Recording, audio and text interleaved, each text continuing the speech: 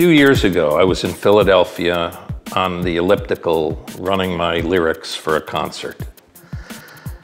And the TV was on, one of the machines, and the end of the film was on, and it was where Inigo was in the door, uh, in the window, and Robin had just jumped out into Andre's arms, and the man in black says to Inigo, you know, invites him to become the next Dread Pirate Roberts.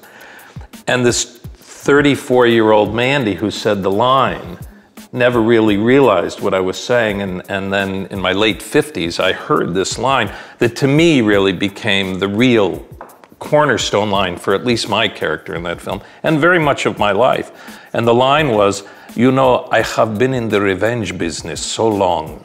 Now that it's over, I do not know what to do with the rest of my life. And, and that to me is the line that mattered to me. And it was so interesting to me that that kid never had any, who said that line, didn't, hmm. didn't hear it. Didn't hear it. yeah.